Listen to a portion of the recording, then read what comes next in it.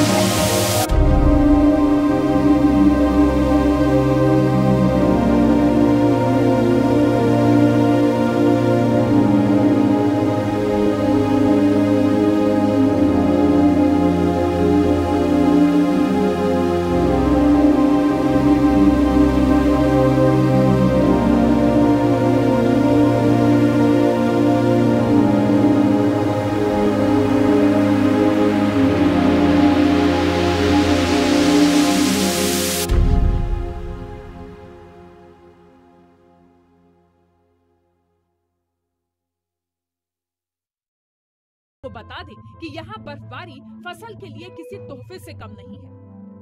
इस वर्ष की पहली बर्फबारी हुई है जो कि फ़सलों के लिए बहुत लाभदायक है। हालाँकि लोगों को कुछ दिक्कतों का सामना करना पड़ रहा है जैसे कि बिजली जो कि रात से नहीं थी अभी आई है। बसों की आवाजाही तो अभी लगभग ठप्पी है अभी तक कोई बसें नहीं आई है न ही छोटी गाड़ियाँ चल रही है।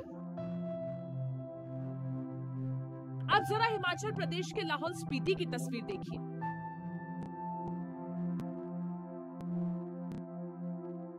यहाँ के काजा इलाके में भी बर्फबारी हुई है।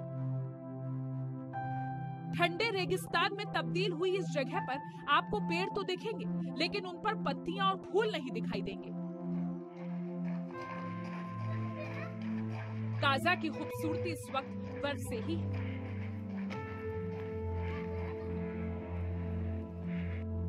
Bureau report, Zee Media.